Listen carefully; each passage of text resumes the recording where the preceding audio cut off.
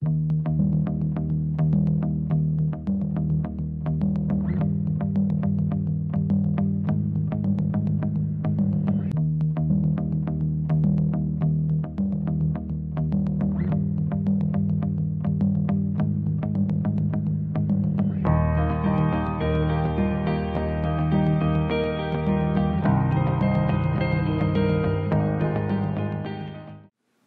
Lord, I pray that you would just help us to see things from your word tonight that would strengthen our faith and give us instruction, Lord, as we begin to look at the first letter to the first of the seven churches that you had penned, Lord, to us. So I just pray we would have our spiritual eyes opened by your Holy Ghost to see the things that we should see and that will help us grow in our faith. And I ask that now in Jesus' name. Everyone that agree with me said? Amen. So turn to Revelation chapter 2 first. I wanted to show you guys, we're going to be looking at the first of the seven letters to the churches. And the first church is the church of Ephesus. And in a minute, I'll take you to Acts to show you, you know, why is it the first, uh, at least in my understanding, some of the things I've spotted through this through the years looking at different verses. And one of the coolest things, this is one of the uh, letters that is a letter to now remember I told you guys when we look at these seven letters, why seven letters to seven churches? Do you guys remember what what's so big significant in the Bible about the number seven? Uh, it is the number of completion. Number of completion. That's right, like a complete set. So this is like seven letters from Jesus, okay, to the seven churches, and each of these churches is going to have um, a different dynamic about the church, and the the letters will actually kind of give you the clue to it. Now you can learn more about those churches by studying some of the details in the scriptures if they're written about um, by just looking in the book of Acts and and if there's a letter written to that church, like the church at Ephesus, we have the book of Ephesians that Paul writes to them. So I can give you little snapshots in time about this church, okay?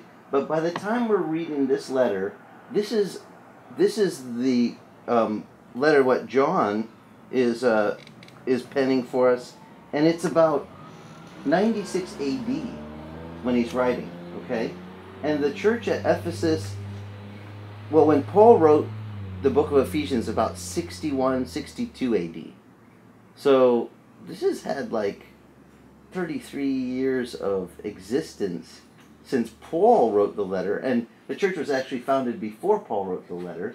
So it's been going like, I'll just say, roughly, yeah, I don't know, 40 years. A church that's been going strong for about 40 years. Now, if you got a church, we're going to celebrate our 24th anniversary tomorrow of our church. So it's a pretty big deal for us. I mean, 24 years. I don't know if there's anyone in this room that's 24 years old. I'm the eldest at 23. At 23, so you weren't even born. We were we were here planting this church before you were alive. And guys, if you if you want to see something like perseverance in the gospel, try serving the Lord at a post for 24 years. Where when the old guys that I talked to about going to Hawaii are like, don't go. It's a spiritually hard place to plant the church. You'll get chewed up and spit out. It's just going to be, you're going to feel a lot of heartache, a lot of pain. People come and go. You know, you get you get invested in people and then they take off. And when I first got here, the first people who greeted me were Hawaiian folks that said, "We'll come to your church after five years." If you if you can stay here for five years and show that you have staying power, then we'll come to your church. And I was like, what is the problem? Except now that I've been here 24 years, I know what they're talking about. They, they said, we don't want to get all invested in you and get all attached and, and, you know, feel that bond and then you take off. But how many people do you guys know that come and go from here? Like, some of them, we're going to be here, we're gonna, oh, we can't wait to live in Hawaii. We get there and they're here like two months and like, we're out of here. You know, and you're just like, what happened to that new guy? And uh, his parents decided they didn't like the weather the same every day. And that, that, that happens to some people. They're like, what? No seasons? I'm like, we have seasons. Yeah, it varies. Summer, winter. Yeah, summer and winter, and it varies what five degrees. Five to It's, ten it's, degrees. it's seventy-five to eighty in the winter, and it's Hot eighty summer, to eighty-five. hot No. I mean it just shifts about five degrees. You have to live here a long time till you can feel the difference, though. Because to the out, outsiders, they're going, it's the same, same, and they don't even know about waves and you know bigger swells and so they don't really appreciate our winters like we do. But uh, but it's stuff that we learn. So I want to show you guys this church has persevered for for at least forty years. By the time that that John is being told of the Lord, write this. This is the Lord Jesus speaking these words to his church. Okay, and this is the first church. Now, in the book uh, uh, here of Revelation, the seven letters I've told you, but just to refresh, they can be seven letters um, to seven different churches, and they're all named geographically as different places. But they're also seven letters to the seven churches. Can um, they're really cool how they just happen to overlay the history of the church up to this present date. Like if you take the first letter to the church at Ephesus, it seems to fit the early church when they were starting. So, so and then later, we'll, as we get further into the letters, I'll show you how they kind of line up in, in historic chronological order to the to the periods of church history. Okay, so some people teach it like the seven letters. The first letter is only for the early church. The next letter was for the first couple centuries of the church. The third letter fits the you know next following five hundred years, and they teach it like that. But then that would mean the only letter that we'd really pertain to us would be which letter? The first. No. The last one, right? The one at, to Laodicea, the the the uh, the last church in the list, because they're the, going to be the ones that you know are at the end. And so, if that was the case, we'd read the last letter, you know, of the seven church. I mean, I don't know about you, but do you guys like to find the part where you fit in the story? Like, what where what what part pertains to me? I know I'm that way. I like to know what pertains to me. And if you think that that's the way that these seven letters, you know, should be handled, you're going to only pay attention to the last letter. Which, the last letter, do you guys know the message to the last church? That's the church that, uh, the, the Laodicean church, you know, that he says, I'm, I stand at the door and I knock, and if you open the door of your heart, what does he say he'll do? He'll come, he'll come in, in, inside you. But it's also the church, he said, I wish that you guys were, well, that, that you're either hot or cold, but because you're lukewarm, he said something about him. What did he say? Spit you out. I'll spit you out. I'll spew you out of my mouth. I don't really, you know, there are, by the way, lukewarm Christians. I don't know if you've run into them, but to be honest, this is the way I think the better application of the seven letters to seven churches goes. That all seven of these conditions that are described to each church have existed in all churches throughout the periods of history, okay, of church history. There's different dynamics at each one of these churches, and there's different messages that Jesus speaks to. You know, some people say, why are there different churches? You know, why, why, why don't you Christians just get one guy to speak for you? Well, we have Jesus, but why do we have a bunch of different churches? Do you guys know? Because we're fishing for a lot of different types of fishes. For one fish, you use one lure and this type of bait. But that other fish hates that kind of bait, so you got to use a different lure and different bait for that fish. That's a good observation. Yeah, we're fishermen of men. That's really good. We're fishers of men, and we're we are we are tasked with fishing for different fish. And so- one person one person can reach to, to somebody, and and someone else might reach to someone else. Okay, and God uses us all in our differences. And the church at Ephesus really helps me bring that that point out because of its inception, how it was birthed. Okay, let me show you this. Before I read you the, the letter, it's only seven verses long in the book of Revelation. Let me read to you the kind of the founding of how that church came about. Because you guys might get really encouraged in your faith when you see how God uses the guys who he used to found the church.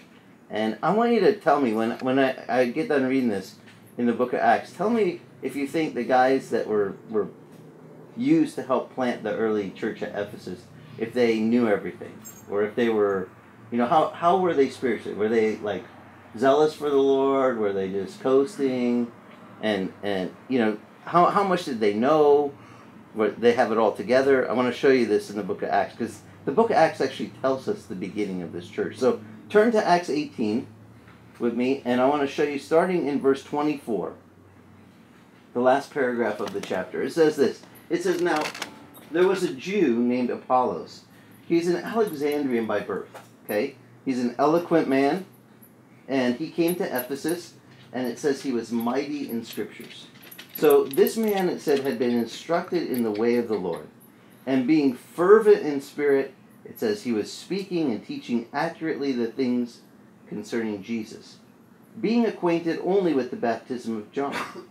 And it says he began to speak out boldly in the synagogues. So this guy is, I mean, he's an eloquent speaker, not like me. He's got it together. He's good, you know, polished, and he's and he's speaking, and and we know he's zealous. Okay, but it says he is acquainted only with the teaching of the baptism of John. This is John the Baptist. Remember John the Baptist? He taught, um, repent, prepare, prepare ye the way for the, the coming of the Lord. You know, get ready. The, the coming of the Lord is at hand.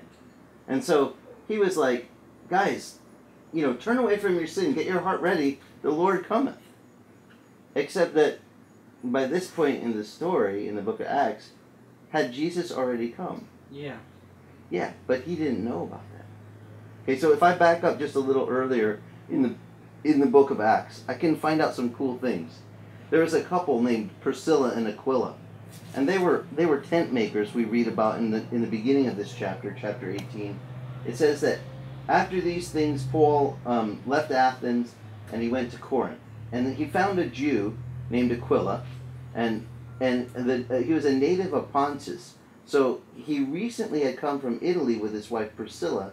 It says because Claudius had commanded all the Jews to leave Rome, and and he came to them because he was of the same trade Paul did, and he stayed with them and they worked together. For by trade, you guys know what they did by trade, what Paul did. Tent maker. And he's a tent maker.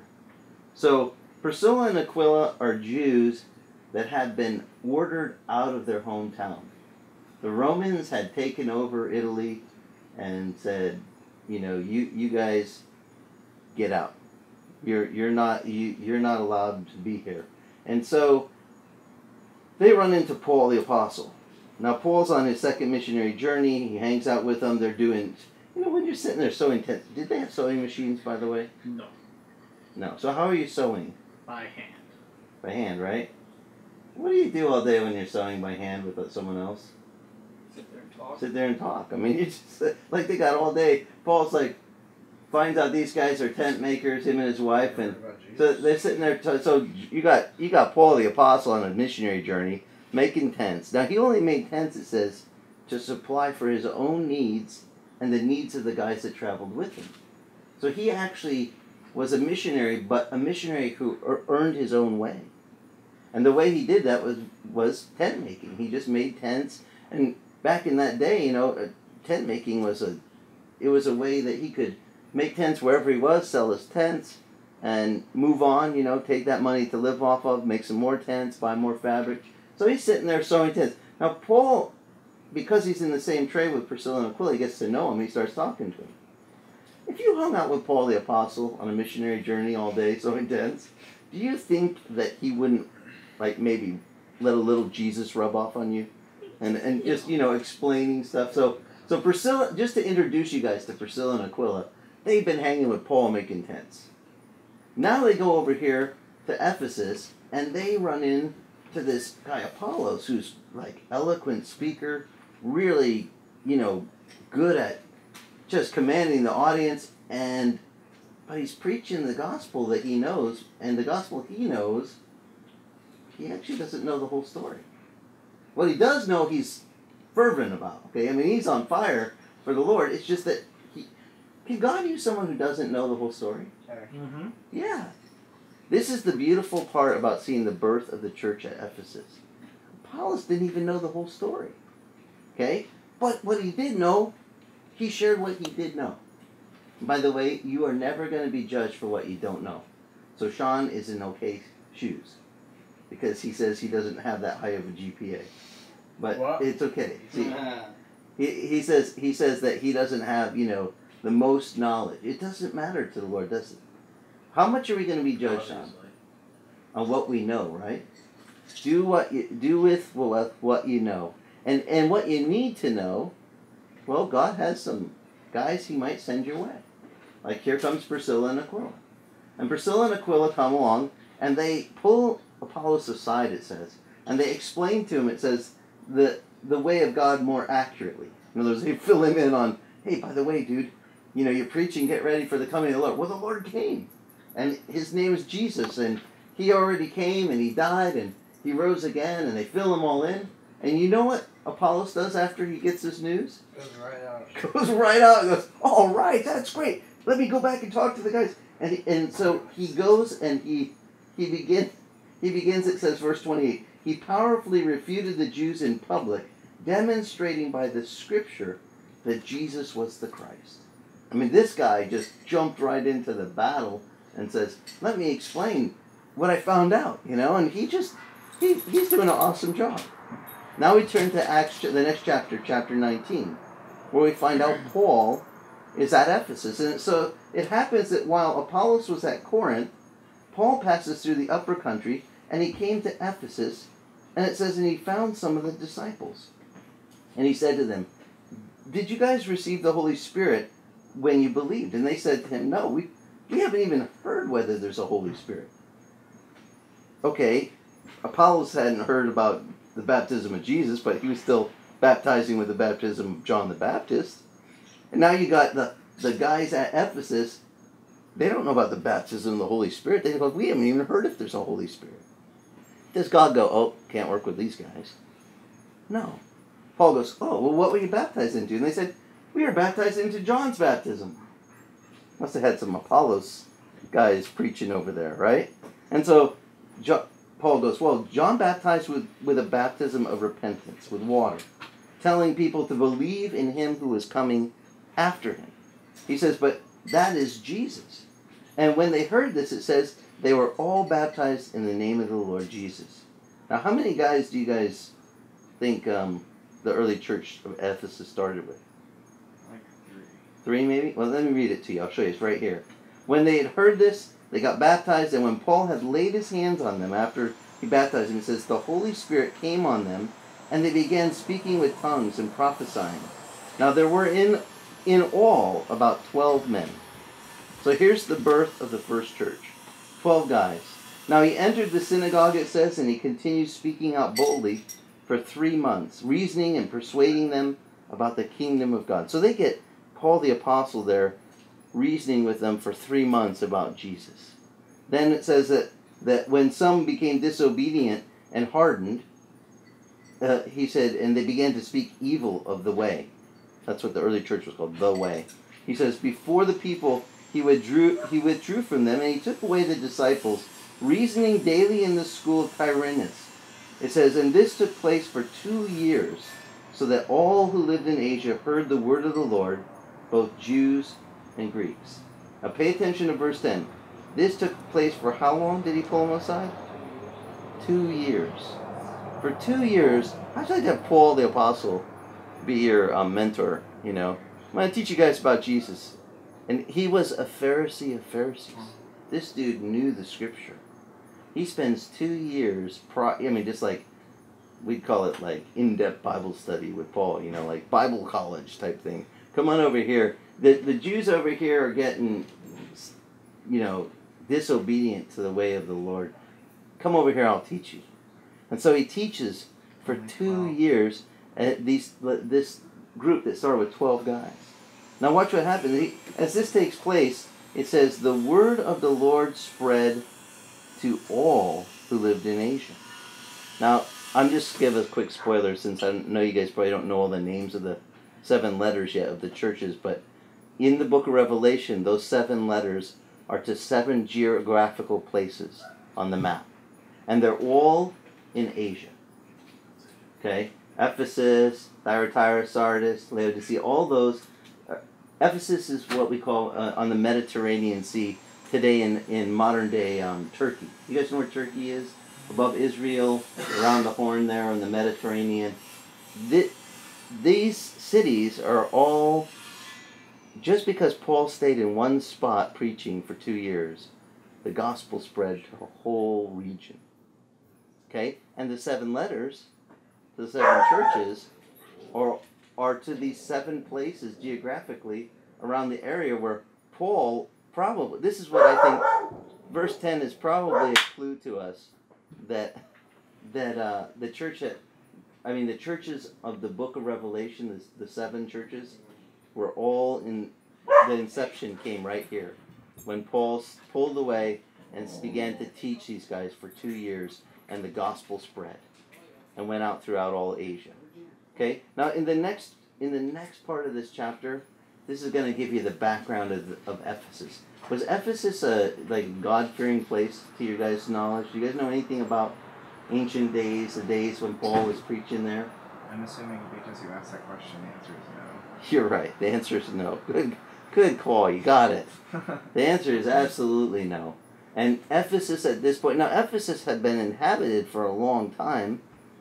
Historically, there's all sorts of stuff on Wikipedia going back B- BC, the times, you know, who was in control, what had gone on.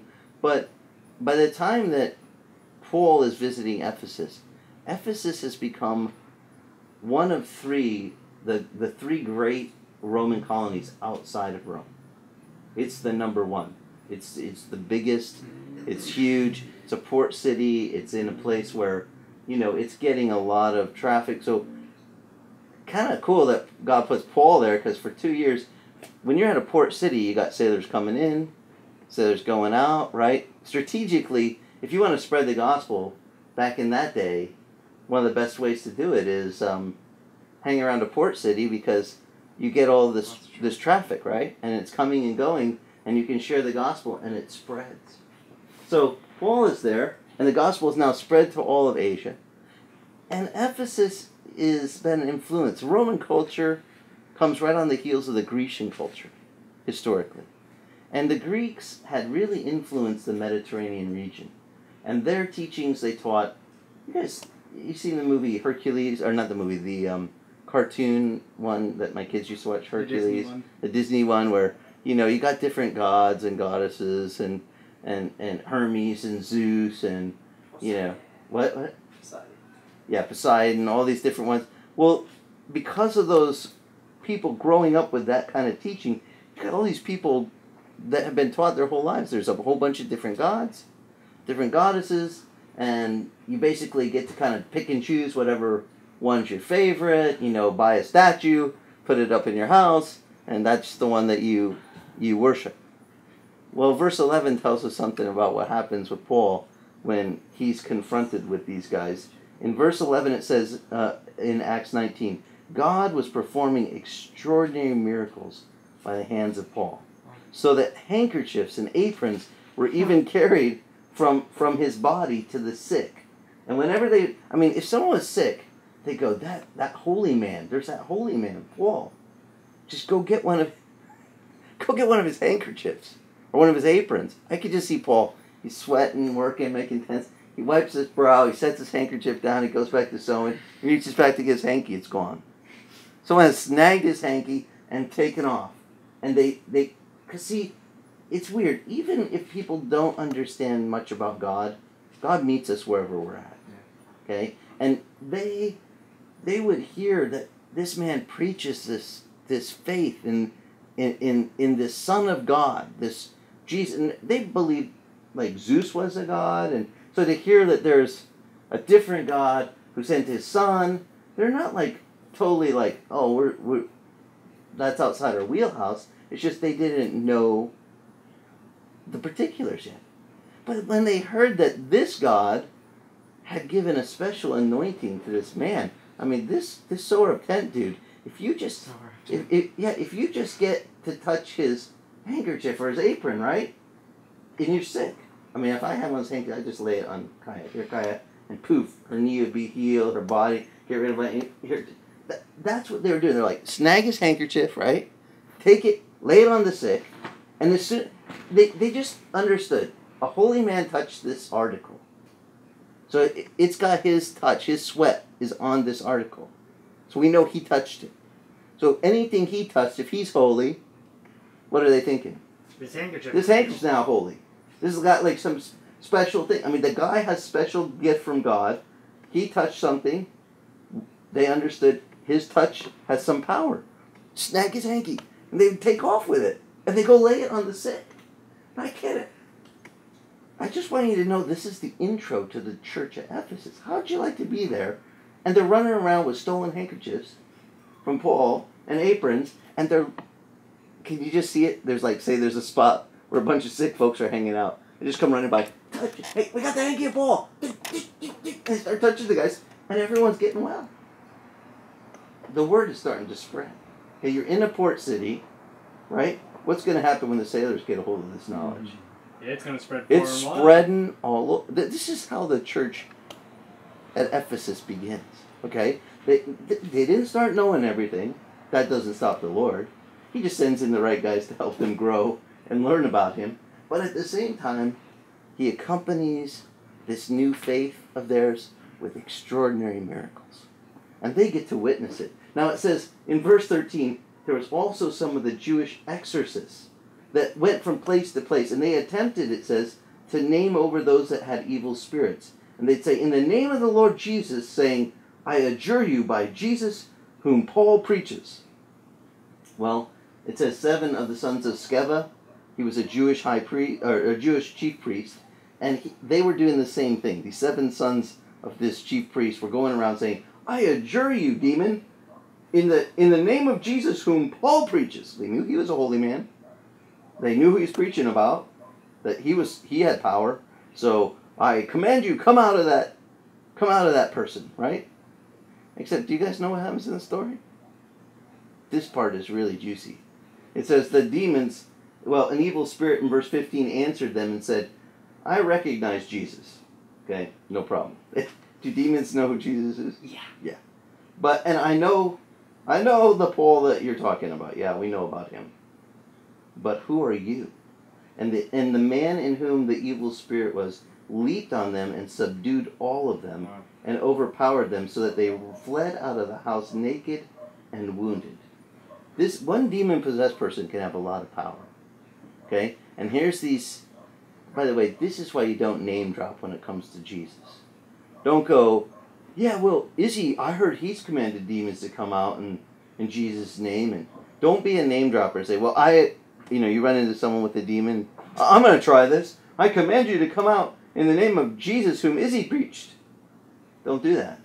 Because if you don't have Jesus in you, here's here's a preview what might happen to you. Okay? You need to have Jesus in you. And and by the way, even when Jude writes, he says, Don't say, I rebuke you, demon. Who do you say? The Lord. The Lord, this is the L for Lord, the Lord in sign language rebukes you. Come out. Okay? Don't even I don't do that. I don't go around and go, I cast you out, demon. I say, the Lord who I serve, my boss, says, get out. Okay? I just work for him. I'm like a kid that hides behind the, the, the dad's leg, you know, Dad, get him. You know? I, I have no. People go, how come you have such effective ministry with seeing people that free from these? Because I know it's not me. It's Jesus that frees people.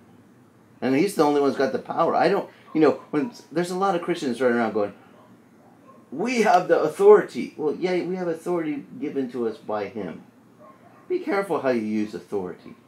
You ever run into people that have a little authority and they just like like the guy at the airport the other night with one you just hand a guy a little glowy wand and put him in the road to direct traffic and all of a sudden he's a Nazi. I mean he's like, you know, you over there, you over there, you move, you know, you're like, dude, you have a little glowy stick, and you're and you're like, boss, and that like you're the boss of the world. I mean, come on. We need to be careful how we use authority. In this case, Jesus wants to free people. I mean, someone's got a demon, they are not in a good way. That demon could be tormenting them, could be ruining their life, and it's a privilege to let this, God use you to see them get freed. But these cheat, these were sons, by the way. It'd be like the pastor's. If Daniel goes, "I adjure you, demon, come out by, by Jesus, whom my dad preaches," and he, but he, say he doesn't serve the Lord, would that be a healthy thing to do? Because that's what the seven sons of a chief priest of the Jewish culture were doing. Now, do you think that this, by the way, uh, let me show you what happens, because this is in Ephesus. It says here, after this happened, this became known to all who lived in the region, both Jews and Greeks, in Ephesus, and fear fell upon them, and the name of the Lord Jesus was being magnified. And many of those that, that who had believed kept coming and confessing and disclosing their practices. And many of those that practiced magic brought their books together, mm. began burning them in the sight of everyone, and they counted up the price of them 50,000 pieces of silver worth of stuff that was to practice magic. And it says, And so the word of the Lord was growing and mightily prevailing. Now, after these things finished, Paul purposed in his heart to go to Jerusalem. And after that, he passed through Macedonia and said, I, I also must go to Rome. So he tells Timothy, You guys rest, to stay here in Asia for a while and watch over, watch over this church. Here's the fledgling starting off church, hands it off to Erastus and, and Timothy, the young man he said was his son in the faith. This is how the church at Ephesus began. Okay? They got, I mean, a pretty powerful move of God's Spirit because of the guys trying to cast out demons, but they didn't really know the Lord. But the word spread about the genuine article. And so it starts. Now, when we get to the book of, of Ephesians in the Bible, what Paul writes around 61, 62 AD, some many years later, we see that Paul's writing to them and saying, You guys, um, he says stuff to them in verse chapter 1. He says, You guys, it, it, it, in Christ, he says, You also, after listening to the message of truth, the gospel of your salvation, he says, having also believed, you were sealed with him, with the Holy Spirit, in, I'm sorry, sealed in him with the Holy Spirit of promise, who was given as a pledge in of our inheritance. And you guys, you learned about what God has done to redeem us and, and that sweet thing. And, and he says, and, and I know you've heard of the faith of the Lord Jesus. And I, I heard about your faith, he says, and, and, and how you've been growing. And he says, I pray that the eyes of your heart would be enlightened and that you would you would come to know what is the hope of his calling and what is the glory of his inheritance for his saints and what is the surpassing greatness of his power towards those who believe these are in accordance with the working of the strength of his might now this is the book that paul writes to them you guys you're saved by grace through what? Through faith and not of works lest you should boast. And and we're all god's workmanship created in christ jesus. This is the book where he tells them about the the armor of god. Put on the full armor of god. Get ready. There's a battle. Now did they know that there was any battle between light and dark? This church? Yeah they already got intro to it right out of the gate but when paul has to write this letter to them he's got to remind them hey there's a battle that goes on do you think there's a battle for souls today that goes on that people really, you know, there's some that are, you could just see them just struggling, hanging in the balance. And Paul's like, hey, get ready to fight the spiritual fight and keep up the good fight of faith. This is a real fight. So, so we're fight, we're contending for the faith. Now, by the time that John is told to pen the words in, in Revelation chapter 2 to the same church, I want you to notice that Jesus commends them for their perseverance. Okay, they've they've hung in there for quite some time. I mean, decades, longer than any of you guys have been alive. These guys have been serving the Lord as a church, but they got a problem. Okay, and I told you I'm going to teach you this letter in a way that hopefully you'll remember the main point to each church. Okay, that's the if you can only remember one thing of each church, try to lock in on what's the main thing that Jesus has to say to that church. Okay? And I'll teach you a secret of, of how to remember it. First of all, he always starts off with revealing himself. It's the book of Revelation, right? So he's going to reveal or peel back the curtain, so to speak, to show what's on stage. So, so who is he showing when he peels back the curtain? Who's being revealed? Himself. Himself. And each revelation of Jesus, by the way, every time the letter opens, one letter to Ephesus, one letter to Smyrna, Pergamum, whatever letter to the church, when they peel back the curtain and you get to see Jesus, it describes him in a specific way. Just think of it like seven acts of a play, okay? And every act, when the you know when the curtain closes at the end of the act, and then they go to start the next act two, and they open the curtain, and the actors are dressed in different costumes and everything. just picture that each time these letters begin, they'll peel the curtain's going to pull back and we get to see Jesus dressed or presented in a different a different way. Okay? For each church.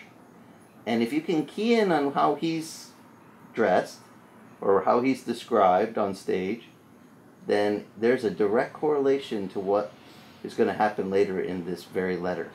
Okay, and I, I'll show it to you. It's really fun. Once you know this, you only have to hear the first line of each letter to the, each church, and you'll start to remember what the main points are to that church.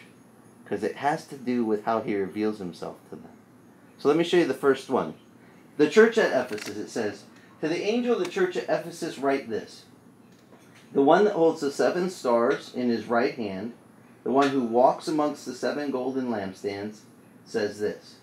He says, I know your deeds and your toil and your perseverance, that you cannot tolerate evil men, and that you put to test those that call themselves apostles, and they are not. And you found them to be false, and you and you have perseverance, and you've endured for my name's sake, and you have not grown weary. So are they hanging in there? Yes. Yeah, I mean they they got perseverance. They got they they can't endure evil men. You know, it, this is by the way, spiritually speaking, this is a sound spiritual body. And the reason I say that is if if you have um, a healthy physical body, if you if a poison is introduced to your body, okay, you get bit by something or you you, you get pricked by a, a poisonous thorn, what does your body do right away? Tr- tries to reject it, right? Tries to isolate and get rid of it. Because if, in order for the body to stay healthy, you can't leave that poison in the in the healthy system, or it's going to spread and bring death. And this church had actually, you know, in, po- in, in the way it's described, Jesus is telling them, you, you did a good job, you guys. You don't tolerate evil men, and you put to test those guys that say they're apostles. You actually, you know, there's a poison that travels around from church to church of men that say, I'm an apostle for Jesus. And, and then they bring this message that's not really from Jesus. And the church of Ephesus would test them.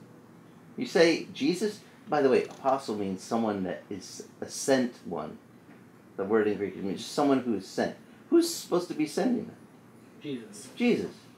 So if you're sent by Jesus and you get there and you start teaching some other weird doctrine that's not Jesus, am I assuming that Jesus really sent you? Like, are you sure? Like, how do I know? And these guys, he says, you you don't tolerate evil men. You know, these guys that come in the church to say, Yeah, I'm a Christian, but I live like the devil. Is that how we're supposed to be? No. So Jesus said, Let your your your good works shine. Like let it be a light to all men. They they see your the good works that you do and they glorify your Father in heaven. But evil men don't do those good works to shine. They're they're walking in dark. And so he says, you, do a good job on dealing with that. Now they've been persevering for some time by the time he writes this letter. And here's where we come to a point. He says, But I have this one thing against you. One thing. Okay, they're doing a good job, they're persevering. What one thing does he have? Do you guys know this letter? This is the one that's one of all the letters, this is probably the most quoted one of messages of the seven letters. One thing I have against you, you have left your first what? First love. What's what, what's what, who what's the first love? It's supposed to be Jesus, right? They're supposed to love the Lord. Now they're doing all the good spiritual dynamics, they're toiling, they're persevering, they're they're, you know, they're they've been going a long time, we'd say. Wow, that church's been hanging in there a long time. They started off with extraordinary miracles while Paul was there, the hanky thing, the casting out demons. They had a really rocking start. And they, they didn't know everything to start. I mean, they were just going with the baptism of John. Never even heard of the baptism of the Holy Spirit. Didn't hear about the baptism of Jesus. It's okay. They grew. They kept growing. They kept hanging in there. And now Jesus says, But I got one thing against you.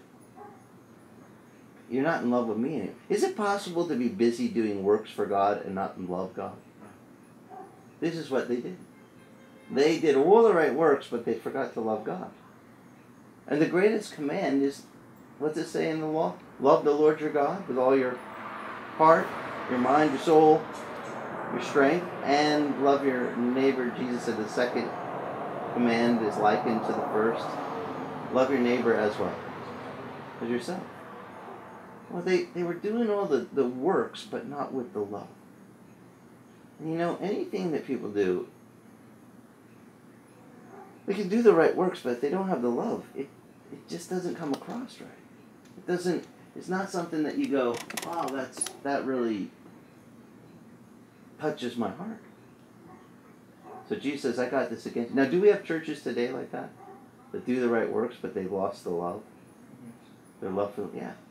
And this is why I think this fits to all the ages of the church. Because if you look through church history, we have some pockets of church history. You know, one area will be on fire and on love with in love with the Lord and serving Him, and another group that's been like, we've been doing this a long time. We're not, we're not that in love. This is the first letter. This is the church that started really good, but they're not in love. Now, how was he revealed? He revealed when he stepped on stage, so to speak. He's the one that holds the seven, what? Stars in his right hand, and he walks amongst the seven golden lampstands. Now, the stars we saw it last week in the end of chapter one. The seven stars. He says, "I tell you the mystery. The the seven stars are the seven angels." to the seven churches, and the seven lampstands, well, they are the seven churches. Each one of the churches is supposed to be a lamp, a light for the Lord to, you know, His light to, to shine to the world. So He's revealed as the guy on stage. Hold, I got seven stars. I'm holding all the angels in my right hand, and I stand amongst the seven lampstands. Now, if you guys he says, I got this against you. You left your first love. And with each each one, he says, therefore remember from where you have fallen. Go back. Remember when you used to be in love with me, the Lord says. And repent and do the deeds, he says, which you did at first. Or else he says, I'm coming and I will do something. What's he going to do to that church? This is really interesting. He says, I will remove your lampstand out of its place unless you repent. He says, Yet this you do, yet you do hate the deeds of the Nicolaitans, which he says, I also hate. And he who has an ear to hear, this is the line that you'll hear at the end of every letter. He who has an ear to hear, let him hear what the Spirit says to the churches. To him who overcomes, I will grant to eat of the tree of life, which is in the paradise of God. Now, the way I learned these letters that help me remember is I think about what's the first thing how he was presented?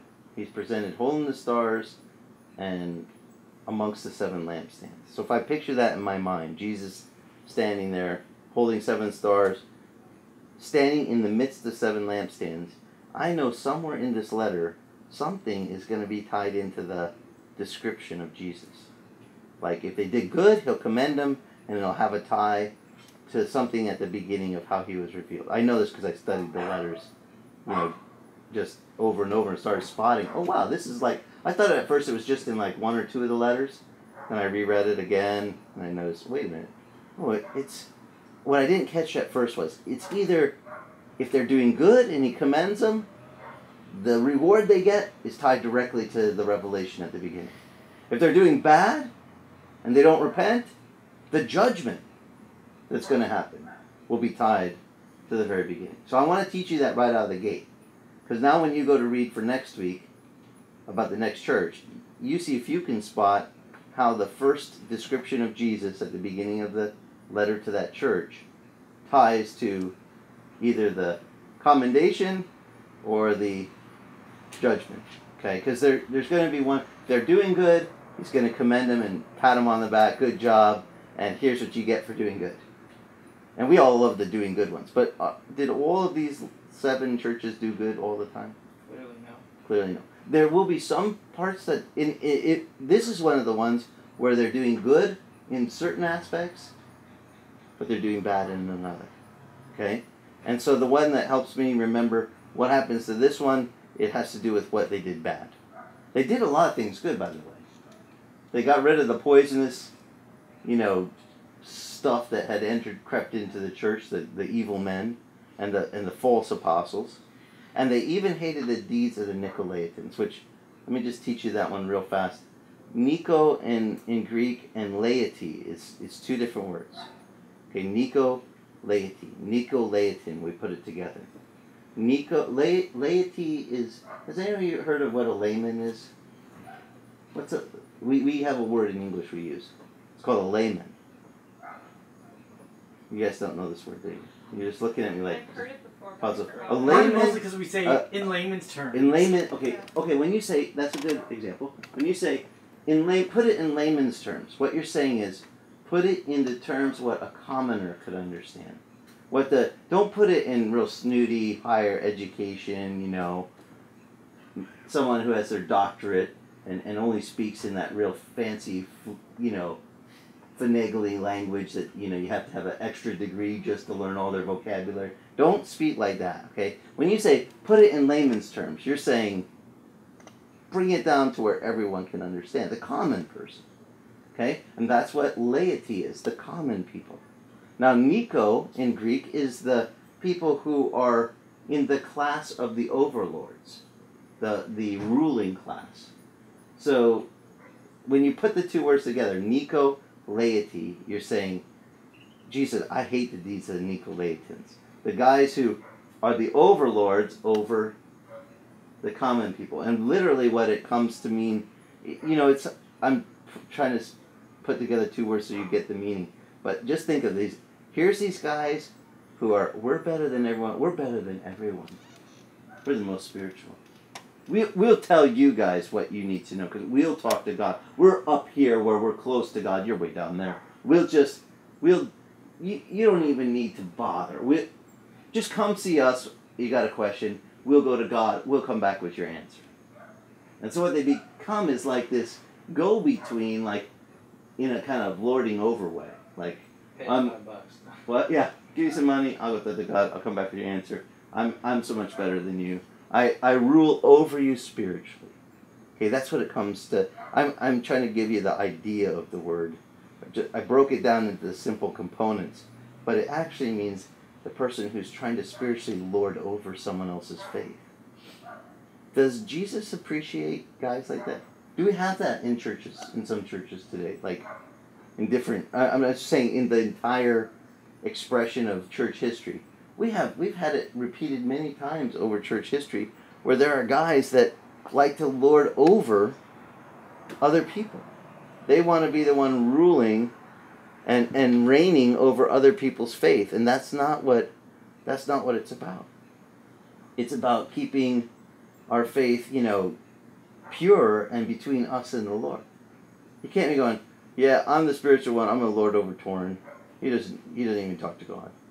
In fact, he falls asleep and say, "Wake him up." You know, and uh, uh, on the, we're not we're not better than someone else. Okay, so Jesus says, I'm, "I commend you that you hate the deeds of the Nicolaitans."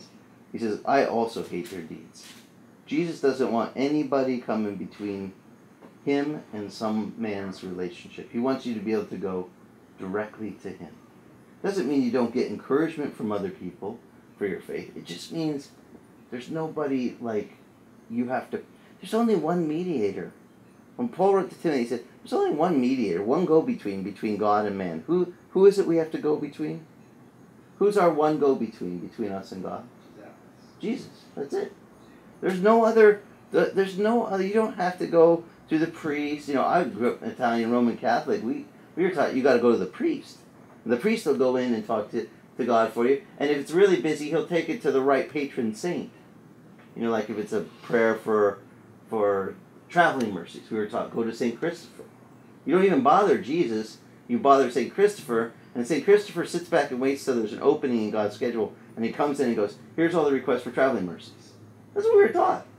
Like God is so busy, He doesn't have time for everyone's requests. So if you need prayer for, you know, whatever, the, there's different patron saints we were taught to pray to. Now that might sound really good if God really was not who He is. That's a man's understanding, trying to put God into a really. They're dumbing down God. Like God isn't able to handle. Can God handle hearing all our prayers at the same time, or do we freak Him out? Shut up! Too many talking at once. I need you all just. To... No, God can hear all our prayers, and it doesn't like freak Him out. It doesn't stress Him. But when some guy starts teaching God in that way, he's teaching.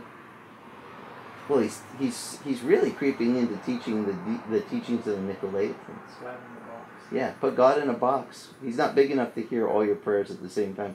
We need to compartmentalize God. You guys that we need prayer for, what, what, what are you praying for? Okay, you guys go see this saint. You guys, you know, in the in the in my early days, the the young ladies that wanted to have a baby, you got to go talk to to pray to to Saint Maria Goretti. She'll go before you, or and she's because she's tied with Saint Maria or Marie which is Mary, the mother of Jesus, you know. So we got to follow the chain of command to get your request in, so you can, you know, you and your and your husband can have. Come on, guys, you can go straight to straight to God, and and go. Jesus said, "You want to see your joy made full?" He said, "Go ask my Father anything in whose name." In my name, he says, and then you'll have fullness of joy. If you want see your joy made full, pray in Jesus' name. Just say, God, I need something. In Jesus' name I pray.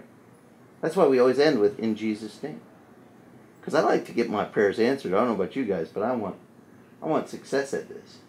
So uh, I want to see you guys in, see success there. Now, can God still do miracles like happened in the beginning of this church? Can He take um, a handkerchief and and heal somebody, even like today? just to let you know, by the way, he still does do. I, I call it God showing off in cool ways, because there was a there was a Bible radio teacher when I was a younger uh, younger man that was preaching on the radio, and he was this kind of Bible Belt preacher fellow that was he was actually I was getting a skip signal from California. Listen to this guy, and he used to preach, and he'd say, "If you're sick, just call to my radio you know, whatever this number. he'd give out his number on the radio. This is how long ago it was, and and just ask for me. I'll send you a I'll send you a prayer handkerchief, and and and you just I'll pray over it and touch it, and you just take it and you just just like when Paul's handkerchief was taken, he said God will God will touch your life, and people would, you know, call him up. Can you send me one of those handkerchiefs? And one of the moms, this old lady, called for her son and said, My son has this problem. You know, moms like to feed their boys, right? And they like to hear from their boys, Mom, what a great meal that was. Well, her whole life she cooked for her boy, but her boy had this problem. He could not smell anything his whole life. It's um, olfactor something. Um, you know, the, the, the, the sense of smell wasn't connected or something, didn't actually connect to the brain. Guys, do you know how what a drag that would be to eat? Because you know what happens? How we perceive food is not first with, with our tongue. Before we even get to our tongue, we've already seen it. We've already smelt it. Like, how come barbecue can make your wa- mouth water when you smell really good barbecue? And you're not even, you don't even see it. It could be around the corner. Or could be down the street and you smell it. I know for you vegetarians, sorry, but mm-hmm. okay, grilled asparagus for you. You know, whatever it is, you can you, your sense of smell is so much tied in to to your enjoyment of food. But what if you're raising a boy and his whole life he's like in his forties now and he's never said, "Mom, that was a great meal," because every time he eats it, everything. Try it, by the way. You want to try it? Plug your nose for the entire time before you ever get to the table and, and go and eat your food, and then do that for a couple days and see if you start to notice that all your food tastes exactly. It would just taste the same. Without the scent, you the texture can be different, but our taste buds are tied to our smell, our smell of vision, so to speak. We know what's tastes. So this guy, his mom sent into the radio guy and said, um, "Send me one of those handkerchiefs." And she was praying for her son that he would come to faith, and he kind of mocked his mom for being Christian all the time, and he she had put um, her prayer handkerchief from the evangelist on the on the bureau in her in her bedroom, and her son, actually one of the, he was kind of a nerd. It sounds like, she she told the story to the to the radio evangel. I got to listen to it. She she said, he was going on a date, to like the um, opera. And so he got all dressed up in a nice suit, and he needed a handkerchief for back those days. They fold the handkerchief little triangle guys. You've seen it in the movies, right? And they Mm-hmm. put it in the pocket like that, and it shows just a little bit. And so he didn't have a handker, a, you know, a nice what we call show handkerchief, you know, that you put in the pocket like that. And so he went in her room and saw on the bureau there's a nice handkerchief. So he took it and put it in his thing. Well, he's touching it, right?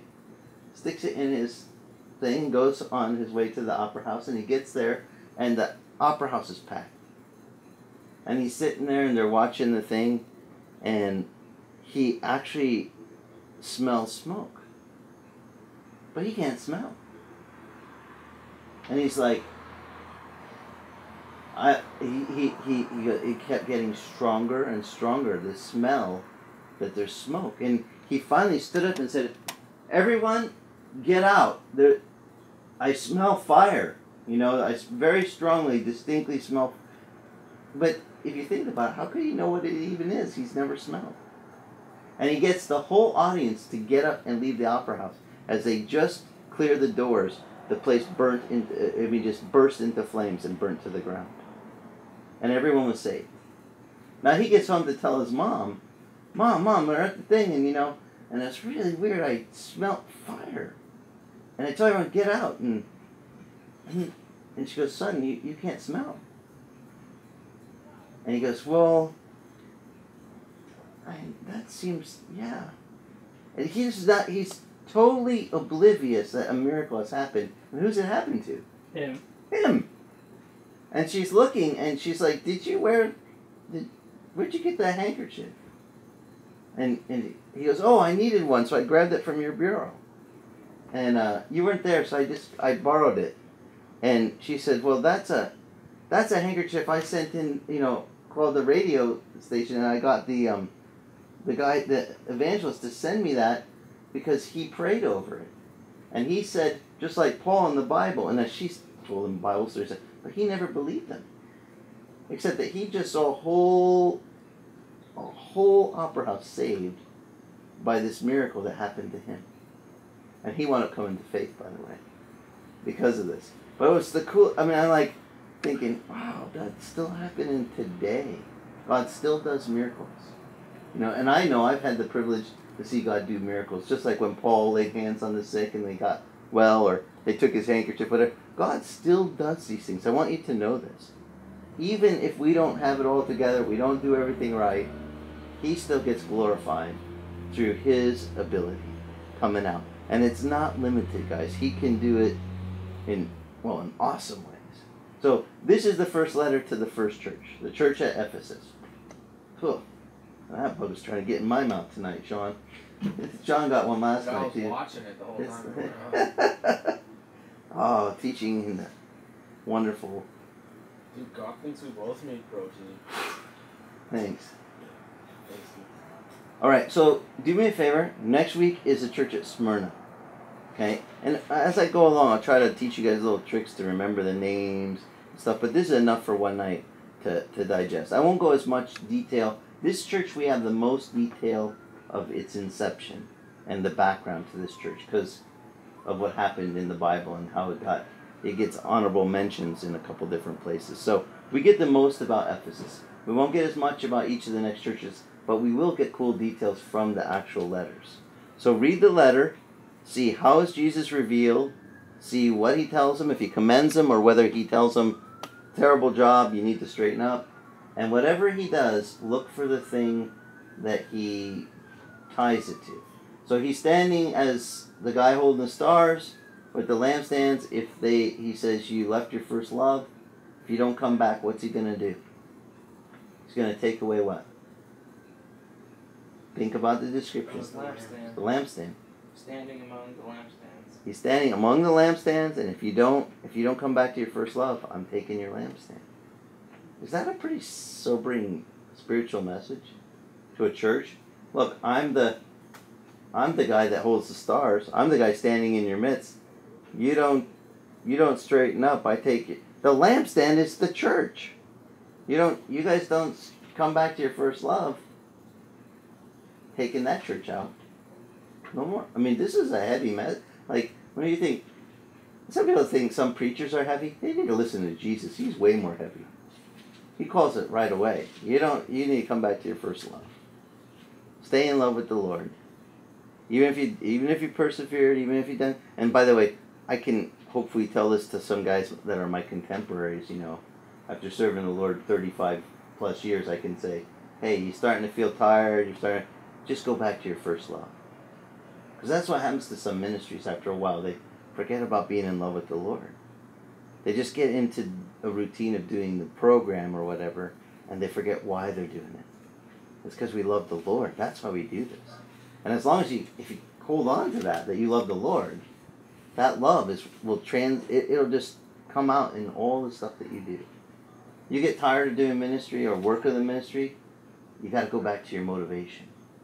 You know, whenever you get tired, just go, hey, it's okay. I gotta remember, I'm just, I do this because my my driving force is my love for the Lord. He loved me, and I love Him because He loved me, and that can fuel that that thing that brings you into that right way with Jesus. Okay, so hang on to that. Next week, read ahead. We'll do the next letter.